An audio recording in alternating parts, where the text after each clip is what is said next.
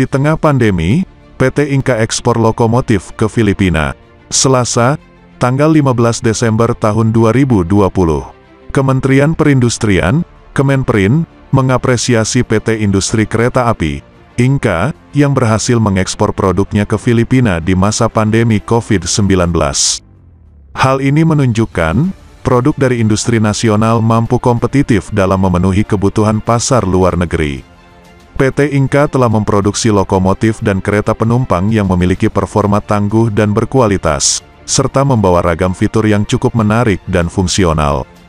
Keunggulan inilah yang dimiliki oleh PT Inka, sehingga diminati dan menjadi daya tarik tersendiri bagi customer mancanegara dan berhasil masuk ke dalam pasar ekspor, kata Menteri Perindustrian Agus Gumiwang Kartasasmita di Jakarta, Senin tanggal 14 Desember tahun 2020.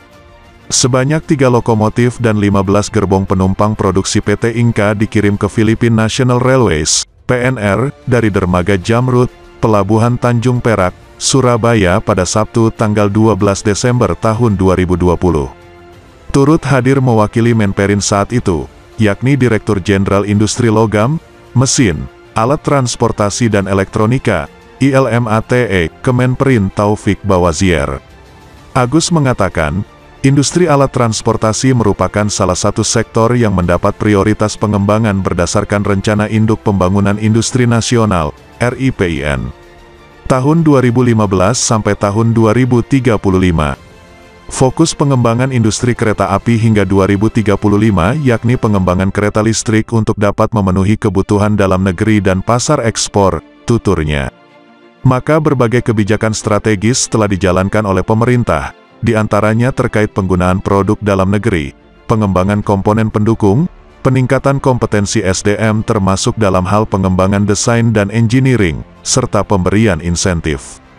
Berbagai fasilitas insentif yang dapat dimanfaatkan dalam pengembangan industri kereta api, antara lain tax holiday, mini tax holiday, tax allowance, pembebasan bea masuk, kemudahan impor tujuan ekspor, KITE, fasilitas National Interest Account, NIA, dan Super Tax Deduction. Menperin menambahkan, dalam mewujudkan kemandirian industri kereta api nasional, pihaknya juga mendorong implementasi Industri 4.0 guna membangun sektor manufaktur yang berdaya saing global. Melalui implementasi Industri 4.0, diharapkan proses produksi menjadi semakin efisien, produktivitas dan daya saing meningkat, serta nilai ekspor juga meningkat, dengan target Indonesia dapat mencapai 10 besar ekonomi global pada tahun 2030, paparnya. Taufik menambahkan, industri kereta api dalam negeri saat ini telah tumbuh dan berkembang baik dari sisi kemampuan teknologi maupun bisnisnya. Dengan begitu, saat ini Indonesia memiliki industri manufaktur sarana kereta api terbesar di Asia Tenggara. Kinerja gemilang yang ditorehkan PT Inka, Misalnya pengiriman ekspor dua train set kereta diesel multiple unit ke Filipina pada bulan Desember tahun 2019, dan pengiriman ekspor 4 train set kereta diesel multiple unit ke Filipina pada Januari tahun 2020. Lalu terselesaikannya kontrak ekspor 250 kereta penumpang ke Bangladesh pada September tahun 2020, dan secara bertahap menyelesaikan 31 train set LRT Jabodebek milik PT Kereta Api Indonesia. Ia melanjutkan, dalam memenuhi kebutuhan kereta api dalam negeri dan luar negeri, PT Inka telah menetapkan milestone pembangunan berkelanjutan, seperti joint venture dengan manufaktur kereta api asal Swiss, Staller Rail. Kerjasama ini membuahkan investasi pembangunan pabrik di Banyuwangi dan pengembangan teknologi kereta api modern dengan total anggaran sebesar 1,63 triliun rupiah. Berikutnya, Perjanjian bersama antara PT Inka dengan TSG Global Holdings dari Amerika Serikat dan pemerintah Democratic Republic of the Congo untuk investasi pembangunan infrastruktur dan pengembangan sarana moda transportasi di negara Kongo. Selain itu, komitmen PT Inka dengan Perusda Bali yang didukung oleh Islamic Development Bank untuk pengembangan transportasi tenaga listrik di kawasan wisata Bali, ujar Taufik. Direktur Utama PT Inka Budi Noviantoro mengatakan, pengapalan tiga lokomotif dan 15 kereta penumpang itu merupakan ekspor terakhir ke Filipina.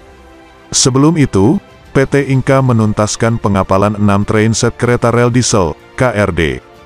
Budi menjelaskan, Enam kereta yang dikirim sebelumnya itu sudah beroperasi di Manila. Inka mengirim train set untuk kereta penumpang jarak jauh. Ekspor kereta buatan anak bangsa tersebut bukan kali pertama. Tahun ini, kami sudah menuntaskan pengapalan sejumlah rangkaian kereta penumpang ke Bangladesh, ungkapnya.